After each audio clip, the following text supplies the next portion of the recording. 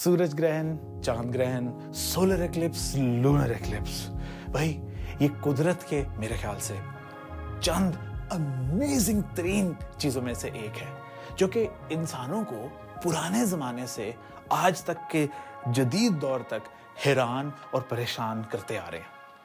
और आखिर क्यों ना करें? ऐसी अमेजिंग चीज़ें नेचर में और कहाँ पे है?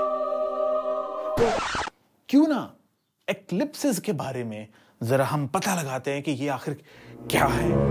कैसे होती हैं? कब कब होती हैं? किस तरह होती हैं? क्यों होती हैं? कैसे होती हैं? कहाँ होती हैं?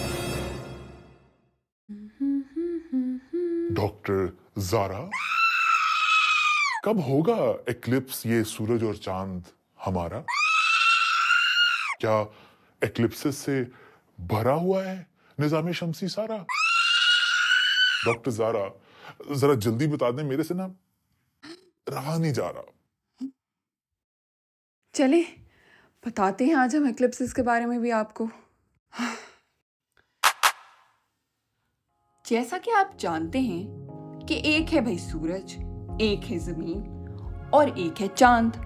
और हम ये भी जानते हैं कि चाँद ज़मीन के इर्द गिर्द गोल गोल ऑर्बिट कर रहा है। कभी कभार ये अपने ऑर्बिट में चक्कर लगाते लगाते सूरज के आगे से गुजर के सूरज की ही रोशनी को ब्लॉक कर देता है।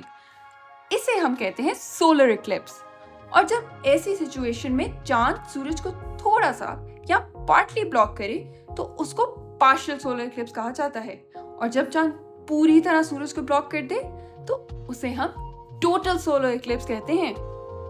टोटल सोलर एक्लिप्स यानी मुकम्मल सूरज ग्रहण। भाई मैंने तो ये कभी नहीं देखा। लेकिन मैं किसी को जानता हूँ जिन्होंने हाल ही में होने वाली अमेरिका में टोटल सोलर एक्लिप्स को अपनी आँखों से देखा है। तो आए जरा उनके पास चलते हैं और उनसे पूछते हैं उनकी कहानी उनकी ज़ुबान।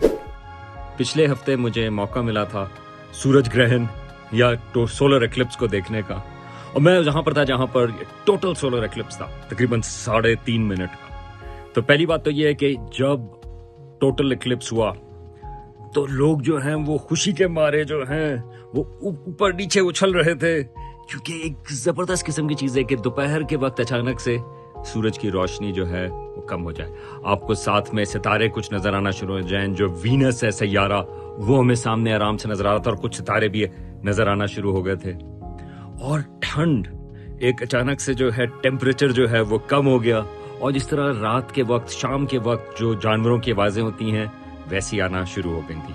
तो एक लिहाज से आप खाली सूरज ग्रहण जो है हम खाली देखते नहीं, बल्कि आप महसूस भी करते हैं। और फिर इसके अलावा ऊपर देखने की जो चीज़ थी, वो ये थी कि सूरज का बाहर एक इलाका है जिसको कहते हैं कोरोना। वो नॉर्मली हमें नज़र नहीं आता, लेकिन जब चाँद सूरज को ब्लॉक कर देता है तो वो उसके आसपास नज़र आना शुरू हो जाता है। तो वो ज़बरदस्त चीज़ थी। और एक और चीज़ मैं बताऊँगा। वो ये है कि नॉर्मली जब सूरज गुरूब होता है तो एक तरफ़ आपको लाल या पीले रंग का आसमान नज़र आता है। लेकिन टोटल सोलर एक्लिप्स में एक लिहाज से वो जो शाम की बात है, वो हर तरफ़ होती है। तो ज़बरदस्त चीज़ है। अगर आपको कभी मौका मिले सूरज ग्रहण देखने का तो बिल्कुल ज़रूर उसको चेकआउट करें। ओए ओए ओए क्या कमाल सीन होगा ना। टोटल सोलर एक्लिप्स अच्छा वैसे मज़े की बात है कि कभी कभी चाँद सूरज को पूरी तरह ब्लॉक नहीं करता। तो उस वक्त टोटल एक्लिप्स नहीं होती बल्कि पार्शियल सोलर एक्लिप्स होती है। और पार्शियल सोलर एक्लिप्स को भी आप सेफ्टी ग्लासेस से देख सकते हैं। यहाँ मैं आप सबको खबरदार करना चाहता हूँ। याद रखिए कभी भी आपने सूरज को अपनी नेकेड आई से नहीं देखना। हमेशा सूरज को आपने प्रॉपर सोलर ग्लासेस या प्रॉपर इक्विपमेंट से ही देखना है। अदरवाइज़ हमारी आँखों को फौरी और देर पा, यानी इमीडिएट और लॉन्ग टर्म डैमेज हो सकता है। तो याद रखिए, चाहे ग्रहण लगा हो या ना लगा हो, आपने कभी भी नेकेड आई से सूरज को नहीं देखना। Never again shall I look directly at an eclipse. तो हम बात कर रहे थे पार्शियल सोलर एक्लिप्सेस की। पार्शियल सोलर एक्लिप्सेस भी बड़ी मज़े की होती हैं। मैंने दो पार्शियल सोलर एक्लिप्सेस अपनी आँखों से देखी सोलर ग्लासेस के साथ। और आधा कटा हुआ सूरज नज़र आता है। बहुत ही ज़बरदस्त भी होती है। क्या ख्याल है? हाँ जी हाँ जी ये बहुत अमेजिंग बात है। लेकिन मैं आपको एक और अमेजिंग बात बताती हूँ। याद है ना कि हमने आपको बताया था कि चाँद साहब ज़मीन के इर्द गिर्द घूमते रहते हैं। तो भाई जब ये घूम घूम के सूरज और ज़मीन के सामने आ सकते हैं तो ये भी तो हो सकता है ना कि इसी गोल गोल घूमने की वजह से ज़मीन इनके और सूरज के दरमियान आ जाए। यानी फिर ज़मीन सूरज से आने वाली रोशनी को ब्लॉक करेगी जो चाँद पे जा रही होगी। और ज़मीन का शैडो भी तो चाँद पे गिरेगा। तो जनाब, ये बिल्कुल होता है। और इसको साइंसदान ल्यूनर इक्लिप्स या चाँद ग्रहण कहते हैं। ये देखें, चाँद पे ज़मीन का शैडो आहिस्ता आहिस्ता गिरता जा रहा है। नोट करें कि कैसे ये शैडो थोड़ा सा गोल है। ओ वेल क्योंकि ज़मीन हमारी गोल है। सो जैसे जैसे चाँद अपनी ऑर्बिट में मूव कर रहा है, वैसे वैसे ये ज़मीन के साय में दाखिल होता चला जा रहा है। अब यहाँ नोट करें कि ज़मीन का साइज़ क्योंकि चाँद से कई गुना बड़ा है, इस वजह से ज़मीन का साया भी चाँद से बहुत बड़ा है और चाँद को मुकम्मल तौर से कवर कर सकता है। और ये देखें जैसे ही ज़मीन के पूरे शेडो ने चाँद को पूरी तरह कवर कर लिया तो चाँद रेड कलर का हो गया। टोटल ल्यूनर इक्लिप्स यानी मुकम्मल चाँद ग्रहण। ये लाल रंग ज़मीन के एटमॉस्फेयर की वजह से बनता है जो कि चाँद पर गिर के बहुत नुमाया हो जाती है। अब बताएँ रुशान थी ना ये बहुत अमेजिंग बात। Honey, close your mouth. नाती टुकड़ा। ये एक्लिप्स वो एक्लिप्स फलानी एक्लिप्स टमकानी एक ओ भाई हमारी एक्लिप्स कब आएगी? तो अगली टोटल लूनर एक्लिप्स जो पाकिस्तान भर से नज़र आएगी, वो होगी 7 सितंबर 2025 यानी अगले साल 2025 में 7 सितंबर को रात 12 बजे के करीब चाँद मुकम्मल तौर पर छुप जाएगा। अगर बादल ना हुए और सारे पाकिस्तान से, बल्कि ज़्यादातर साउथ एशिया से टोटल लूनर एक्लिप्स आप सब देख सकेंगे।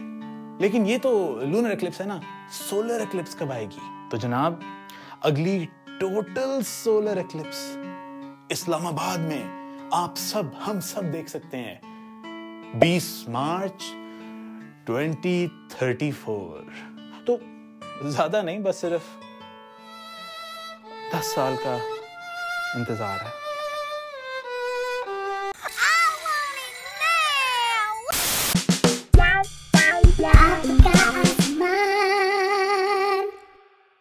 आजकल के नाइट स्काई में राज करेगा बिग डिपर। ये पूरी रात सात सितारों की एक ऐसी अरेंजमेंट नज़र आती रहेगी जो कि एक सॉस पैन की तरह की दिखती है। और इसकी खास बात यह है कि इस सॉस पैन के आखिरी दो सितारे इनको पॉइंटर स्टार्स भी कहते हैं। क्यों? ये कहाँ पॉइंट करते हैं? वेल well, ये हमेशा नॉर्थ स्टार की तरफ़ पॉइंट करते हैं। यानी अगर आपको ये बिग डिपर नज़र आ रहा है तो आप नॉर्थ स्टार फाइंड कर सकते हैं। और अगर आप कभी खो गए हैं किसी रास्ते में तो आपको बिग डिपर आपका रास्ता दिखा सकता है। पर आपको नॉर्थ का बता सकता है तो वहाँ से आप फिर बाकी डायरेक्शंस का अंदाज़ा लगा सकते हैं। Follow the dung. Like, follow the poop. आपका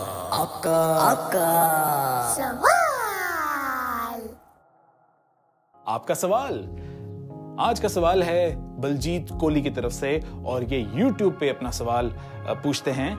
किसी डार्क साइड से आपने मैक्सिमम कितने स्टार्स देखे हुए हैं? बलजीत बहुत शुक्रिया आपके सवाल का बहुत अच्छा सवाल है।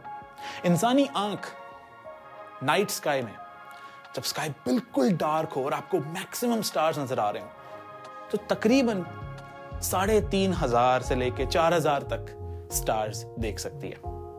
तो मैंने भी कुछ महीने पहले मुझे मौका मिला पाकिस्तान के उस हिस्से में जाने का, जहाँ से बहुत ज़्यादा स्टार्स नज़र आते हैं। बिल्कुल डार्क स्काइज हैं बलूचिस्तान में।